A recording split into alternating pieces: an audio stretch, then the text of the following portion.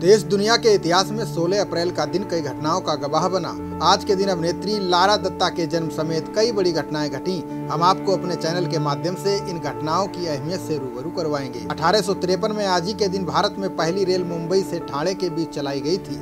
इस ट्रेन में चौदह बोगियाँ थीं और कुल 400 यात्रियों ने इसमें सफ़र किया था। आधुनिक तेलुगु साहित्य में गद ब्रह्मा के नाम से विख्यात और तेलुगु भाषा के प्रसिद्ध विद्वान कंदुकूरी बीरेशलिंगम का जन्म आज ही के दिन 1848 में हुआ था। अपने बेहतरीन अभिनय से दुनिया को हंसाने वाले चार्ली चैपलिन का जन्म आज ही के दिन अठारह सौ नवासी में हुआ था। आज ही के दिन 1919 में अमृतसर में हुए जलियावाला बाग हत्याकांड में मरने वालों को श्रद्धांजलि देने के लिए महात्मा गांधी ने प्रार्थना सभा और उपवास की घोषणा की थी।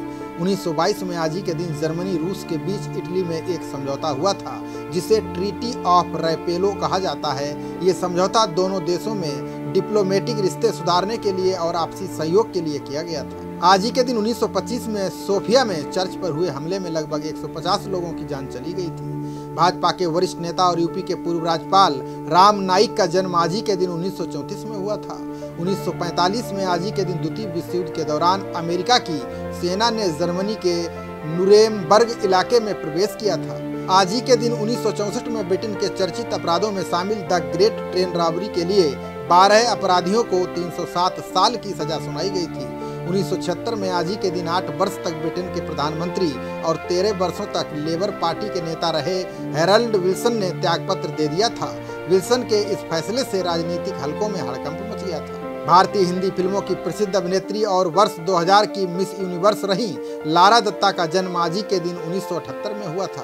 आज ही के दिन 1988 में उत्तरी इराक के कुर्द आबादी वाले शहर हलवजा पर हुए गैस हमले में हज़ारों लोगों की जान चली गई थी, जबकि बहुत से लोग इसके प्रभाव से बीमार हो गए थे। 1988 में आज ही के दिन फिलिस्तीनी मुक्ति संगठन के शक्तिशाली नेता खलील अल वज़ीर उर्फ़ अबू जिहाद की ट्यूनिसिया में उनके घर में जान ले ली गई थी। आज ही के दिन 1990 में बिहार की राजधानी पटना के निकट एक पैसेंजर के दो डिब्बों में विस्फोट के बाद कम से कम 80 लोगों की जान चली गई थी और पैंसठ अन्य लोग घायल हो गए थे। 2004 में आज ही के दिन भारत ने रावलपिंडी टेस्ट जीतकर सीरीज़ में पाकिस्तान को दो एक से मात दी थी।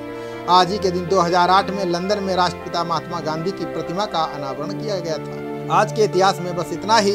कल का इतिहास लेकर पुनः हाजिर होंगे। नमस्कार।